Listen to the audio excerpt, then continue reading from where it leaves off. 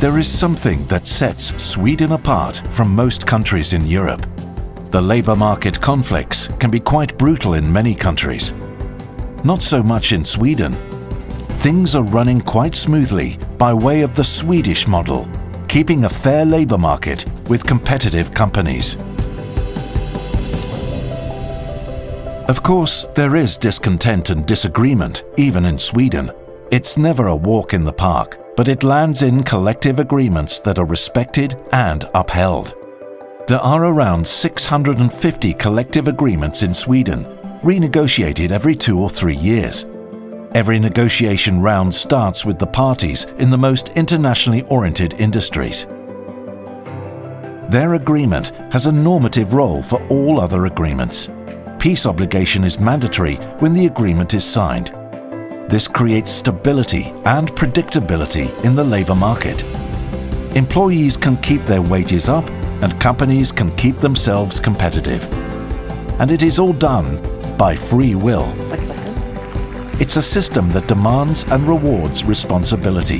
The Swedish labour market model is based on the concept of social partners taking responsibility seeking to agree on the rules of the labour market by negotiations.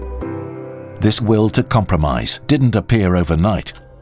It has grown organically for well over a century.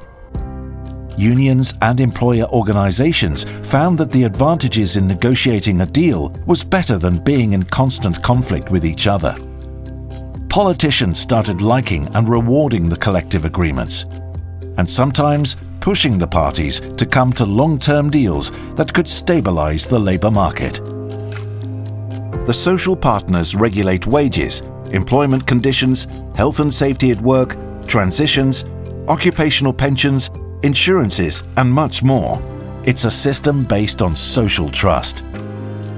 A model like this creates grounded solutions based on the people and companies involved and affected and it allows the social partners to respond quickly to any challenges that may arise. But as such, it is sensitive to outside involvement. It's not without imperfections, but moving more power to the outside of the model would have a negative effect for sure. It would break the inner workings that the model needs to stay alive.